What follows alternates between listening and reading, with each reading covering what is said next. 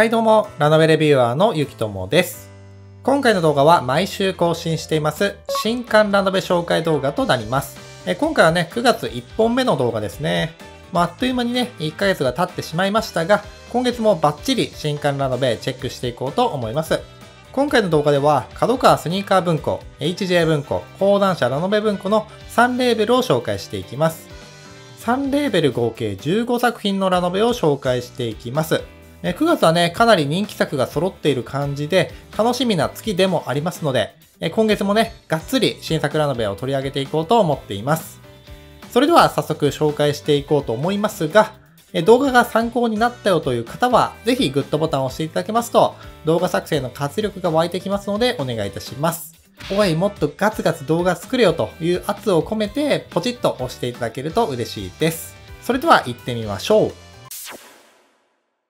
まずは9月1日発売の角川スニーカー文庫からチェックしていきます。はじめはシリーズ続刊タイトルからですね。えー今月のスニーカー文庫は5作品が発売となります。えー今月のね、スニーカー文庫、注目作がね、結構発売される感じですね。アニメ化も発表されている、えー戦闘員派遣しますや、人気ラブコメ作品である、マワハハの連れ子が元カノだったもあります。他にもね、オレツエ系の異世界転生系作品も揃っていて、かなりね、隙のないラインナップとなっていますね。それぞれチェックしていきたいと思います。まず紹介するのは、ワンワン物語の第7巻ですね。えー現代で過労死した主人公が願ったのは、金持ちの犬になってぐうたら生きたいというもので、えーその願いが叶い、異世界で金持ちの犬に転生した主人公。しかしその姿は狼、しかもフェンリルに転生していたという、まあ、人外転生系のファンタジー作品ですね。まあ、悠々自適な異世界ペットライフを送る主人公が非常にね、笑える作品となっています。まったりと読める作品となっていましたが、今回の第7巻で大団円の最終巻となるということで、物語はね、フィナーレを迎えるようです。まあ最終第7巻では、幸せペットライフを守るために、魔王にすら挑んでしまう主人公が描かれていくようです。まあ、一体ね、どのような結末を迎えるのか、要注目です。続いては、戦闘員派遣しますの第6巻ですね。この素晴らしい世界に祝福をの赤月夏目先生が描く新世界バトルコメディ最新刊が登場ということで、えー悪の組織の下っ端戦闘員がアホな行動をしながら新世界を侵略しちゃうギャグコメディ作品ですね。えー今年ね、このスバが完結してしまいましたので、ラノベとしては本作に力を入れていくっていう感じになるのでしょうか。第5巻で一旦物語が閉まったので、え今回からね、新章突入となるようです。えそんな本作ですが、今年の3月にテレビアニメ化企画が進行中であると発表されています。やはりね、このスバがものすごいヒットをしただけに、本作のね、アニメ化がどうなるのかは要注目ですね。まあ、作者のお箱でもあるギャグテイストががっつりと楽しめる作品なので、笑える作品にアニメの方もね、仕上げてくれると嬉しいですね。で、アニメの放送時期に関してはまだ発表されていませんが、まあ早くても来年の春以降にはなるかなっていうふうに思っています。まあアニメまでにね、原作をチェックしていくというのが良さそうですね。続いては、ママ母の連れ子が元カノだったの第5巻です。今勢いを増しているラブコメ作品もしっかり関数重ねて5巻まで来ましたね。親の再婚で義理の兄弟になってしまった元カップルの2人の甘酸っぱくて切ないラブコメが楽しめる本シリーズ。まあ、本チャンネルでもね、何度か取り上げているんですけども、とにかくね、前巻の4巻がとてつもなく面白かったので、新刊発売ね、非常に心待ちにしていました。まあ、表紙はね、主人公の友人系ヒロインでもある、イサナが飾っていますね。まあ、今回はね、このヒロインを中心としたラブコメ模様が展開していくようです。で、そんな本作ですが、今回の第5巻ではドラマ CD 付き特装版が発売となります。この動画を作成しているのは発売直前ではあるんですけども、すでにね、Amazon では在庫切れになってしまっているようですね。まあ、数量にね、限りがある商品なので、リアル店舗で購入を予定している方は、買い逃しのないようにチェックしていきましょ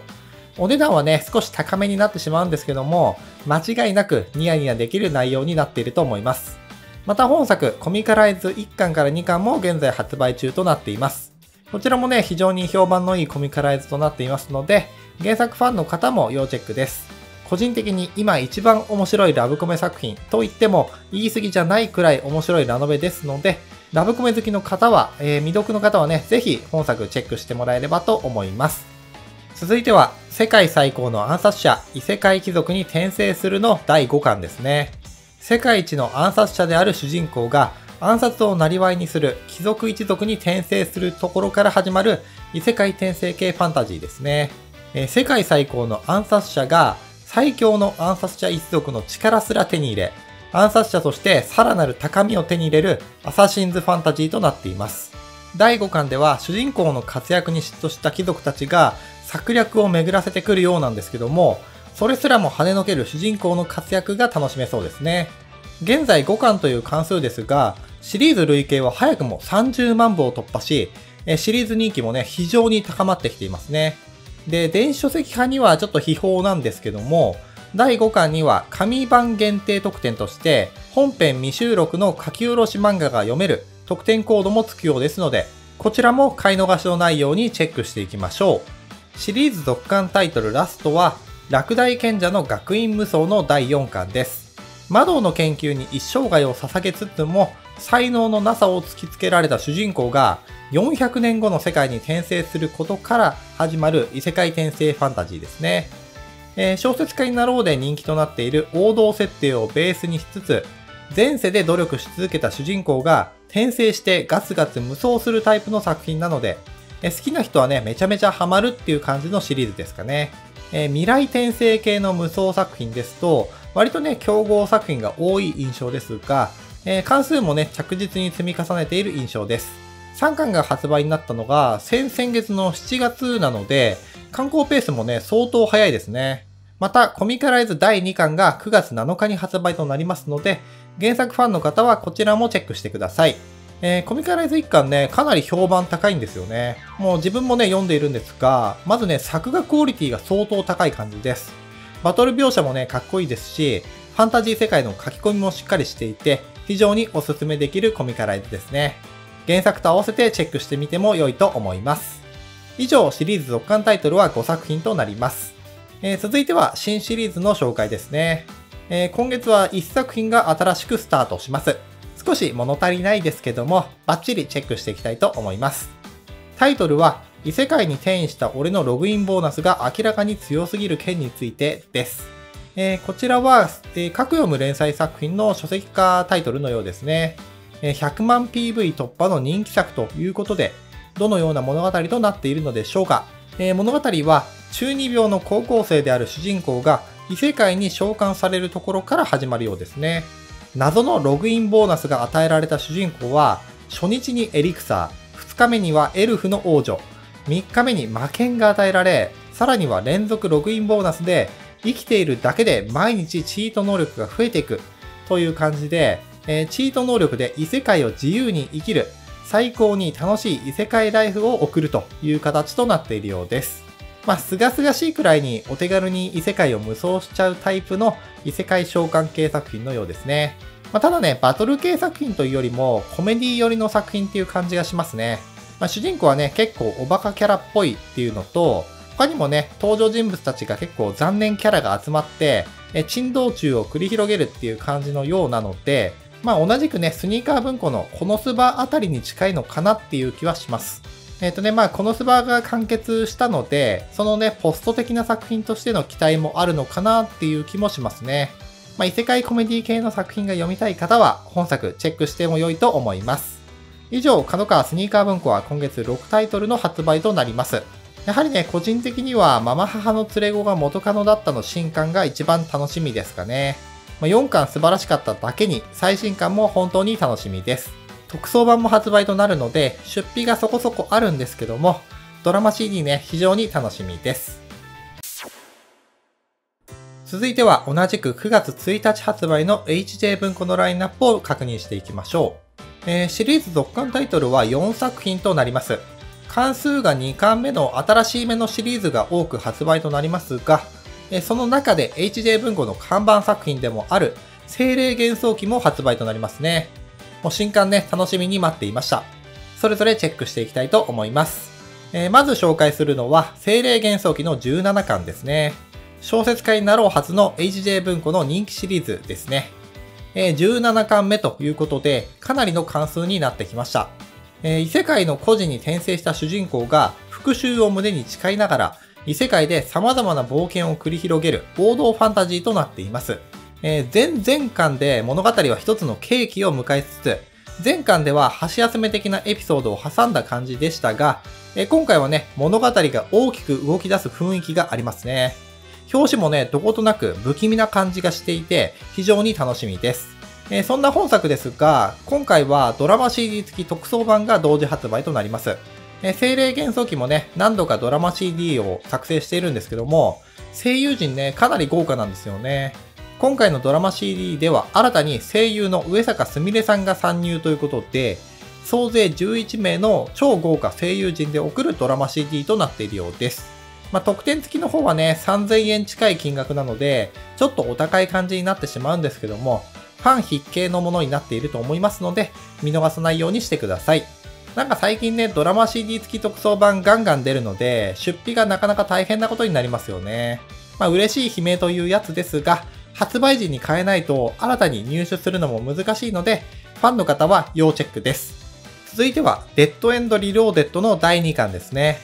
第13回 HJ 文庫大賞の大賞を受賞して始まった本作。時空に関連する特殊粒子が発見された未来世界を舞台に、凄腕の傭兵が時空にまつわる秘密実験に参加するところから始まる超絶タイムリープアクション作品となっています。繰り返されるループの中で巨大兵器同士のバトルなんかもあり、SF 要素満載の物語となっています。まあ、新人賞らしい荒々しさと確かな熱量に満ちた作品という感じで、評価は分かれつつも、しっかりと才能を感じる物語ですね。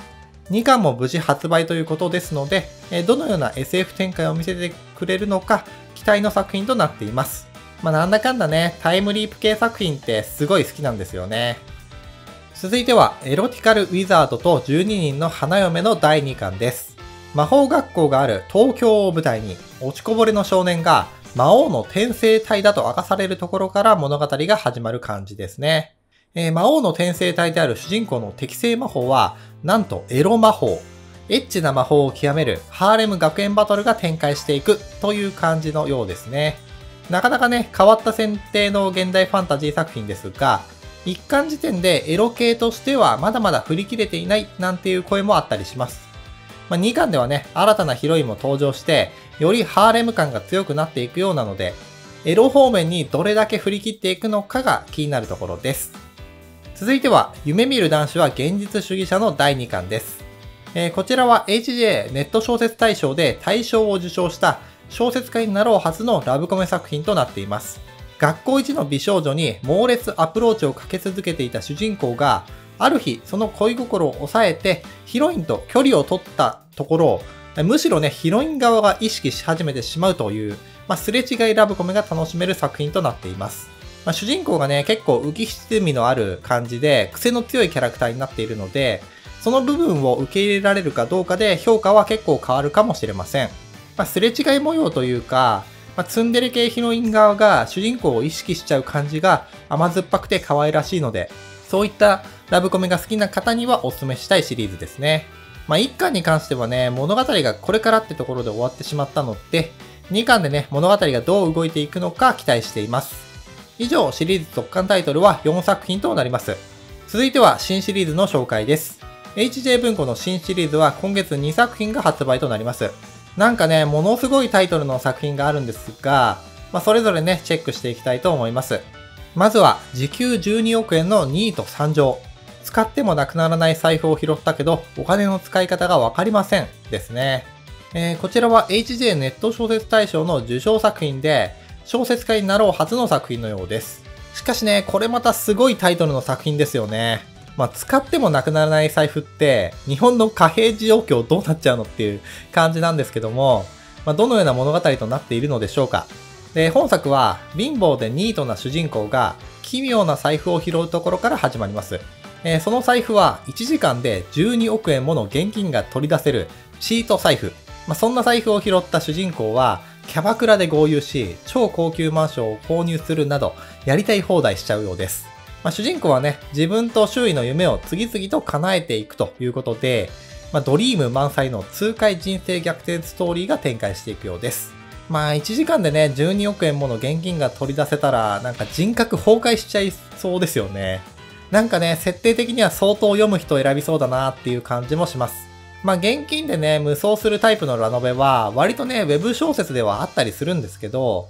割とね、こう、現金で買ったものを異世界で活躍させるっていう感じのが多いので、まあ、現実世界でそのまんまね、金で無双するってどうなるのかちょっと気になりますね。なんかむしろこう、突然大金を手に入れて人生が変わる系の物語は、実写映画とかの方に多いかもしれませんね。まあ、設定的にはね、面白そうではあるんですけども、まあ、主人公がどんな目的でお金を使っていくのかが肝でしょうかね。まあ、成金志向でクズっぽくなってしまうのか、善人としてお金を有効活用していくのか、まあ、そこら辺の塩梅がどうなっていくのかが要注目です。まあ、いきなり読むのちょっと怖いかなっていう気もするので、試し読みとかね、ウェブ版をチェックしてから、えー、主人公と相性がいいのか、確認してみるのがいいのかなというふうに思います。続いては、追放された落ちこぼれ、辺境で生き抜いて S ランクタイマシになり上がるですね。えー、こちらも小説家になろう初の作品ということで、まあちょっとね、正直言うと全体的な騎士感が半端ないっていう感じはあるんですけど、なんだろうな、こう S ランクって部分が表紙にデカデカとデザインされると、パッと見の印象って結構似通ってしまうから難しいですよね。まあね、物語がどうなっていくのか見ていきましょう。物語としましては、仲間に裏切られて魔族だけが住む辺境へ追放された劣等生である主人公。えー、そこでね、2年間もの間必死に生き抜いた主人公は、異端の力を身につけ、人類最強の大魔師へと成長。人間界に戻り、エリートを養成する大魔師学園に入学した主人公は、えー、規格外の力で S ランク大魔師に抜擢されるという感じの物語となっているようです。うん、まあ、設定的にはやはりね、テンプレチックな部分は否めないんですけども、逆に言えば、テンプレをどう料理するのかが重要ではありますね。まあ、公式レビュアープログラムの参加者のレビューを見る限り、え爽快感っていうのはね、結構良さそうな感じのレビューが多かったです。ただね、物語的にはこう、プロローグっぽい感じなので、一巻の満足度としては、えちょっとね、抑え気味な感じのようですね。まあ、長く楽しむスタンスで読むのが良さそうな気がします。まあ、設定的にね、好きな方は好きっていう感じの物語だと思いますので、気になった方はチェックしてみてください。以上、HJ 文庫は今月6タイトルが発売となります。いや今月の HJ 文庫はね、精霊幻想記が一番目玉ですかね。それとね、小説家になろう系の Web 小説初の新シリーズががっつりと発売されていきます。まあ、最近はね、Web 小説作品でも容赦なく打ち切る傾向がありますし、ここら辺がね、しっかりと育っていくかが要注目ポイントですかね。続いては9月2日発売の講談社ラノベ文庫のラインナップを見ていきましょう。今月の講談社ラノベ文庫はシリーズ続刊タイトルは2作品となっています。どちらも異世界系の作品となっているようですね。まず紹介するのは異世界支配のスキルテイカーの11巻です。小説家になろう初の人気ファンタジー作品ですが、え、10巻発売が2019年の5月だったので、なんと1年3ヶ月ぶりの新刊となります。え、武術の天才である主人公が異世界で手に入れた能力略奪というチート能力で無双する異世界ファンタジー作品となっています。まあ、久しぶりの新刊ではありますが、今回の11巻にてクライマックスを迎えるようです。え、1巻発売が2015年ですので、5年間の観光で完結となるようですね。え、作者はね、本作以外にも多数の作品を手掛けていますので、え、本作のファンの方は別作品に手をつけてみるというのが良さそうですね。続いては、異世界エルフチェーンソーの第2巻です。エルフの姿で異世界の森に転移した主人公が、なぜか持っていたチェーンソーでヒロインを助けるところから物語が始まります。えー、かなりサクサクと読めるコミカルな作品ということですが、こちらはね、今回の2巻で完結ということで、まあおそらくちょっとね、打ち切りなのかなっていう気がしますね。まあ、チェーンソーという要素はエッジが効いているんですけども、ちょっとね、尖りすぎてしまったのかもしれませんね。異世界転生ものって王道路線のずらし方が本当に難しいなっていう気がしますね。まあ、ひとまずね、物語は完結を迎えますので、次回作に期待というところですかね。以上、シリーズ続刊タイトルは2作品となります。どちらも完結となってしまいましたね。続いては新シリーズの紹介です。今月発売の新シリーズは1作品のみとなっています。なかなかね、面白そうなファンタジー作品ですので、バシッとチェックしていきたいと思います。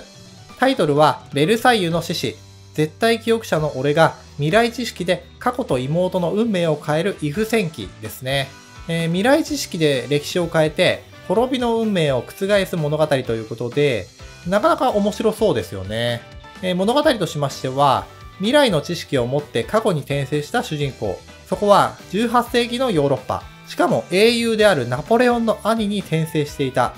しかもナポレオンは女の子であり、自分の知る歴史とは微妙に違う、イフの世界であったという架空戦記ファンタジーとなっています。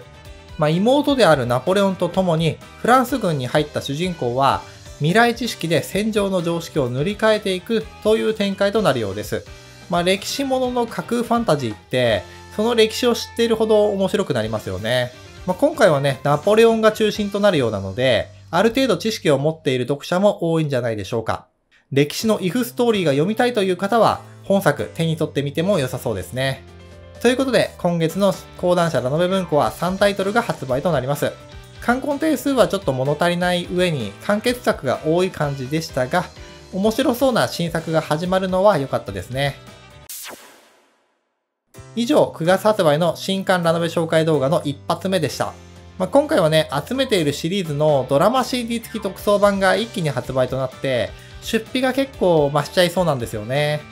まあ嬉しい悲鳴ではあるんですけども、まとまってくるとね、お財布が寂しくなってしまいます。それとね、これから1ヶ月かけて新刊ラノベ紹介動画を作っていくわけですが、9月はね、とにかく買うもの多いんですよ。どのレーベルもね、人気作が揃っている感じで、なかなか出費が増しそうな月になってしまいそうですね。えー、来週はね、電撃文庫と GA 文庫を中心に紹介していくんですけども、これまたね、どっちもいいラインナップになっているんですよ。